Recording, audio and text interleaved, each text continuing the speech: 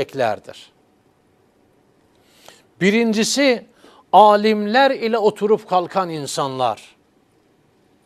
İmam Sadık aleyhisselamın ilim hakkındaki, hilim hakkındaki nasihatlerinden söz ettik canlar. Üç haftadır söz ediyoruz bu konulardan.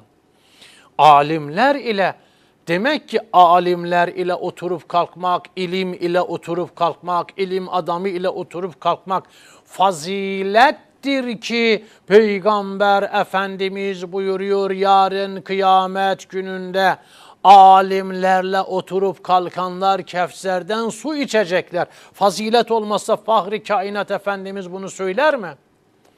Yüz tane alim var, bin tane alim var. Yüz alimin içerisinde iki tanesi nefsine uymuş, yanlış yapmış, biraz daha öteye gideyim, hata yapmış, bir adım daha öteye gideyim, nefsine uymuş, günah işlemiş.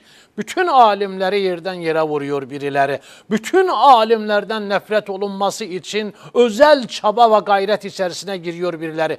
Diyoruz ki, parasını efendim şeytan yolunda harcayan, günah yolunda harcayan, zulüm yolunda harcayan zengini görüp de paradan nefret eden bir insan gördünüz mü? Hayır. E neden iki tane efendim ilim adamı yanlışa efendim kapı yanlışa adım attı diye bütün alimlerden nefret burada şeytanın bir hilesi vardır. Burada nefsin bir tuzağı vardır. Burada nifak vardır. Fazilettir alimlerle oturup kalkmak Allah Resulü buyuruyor.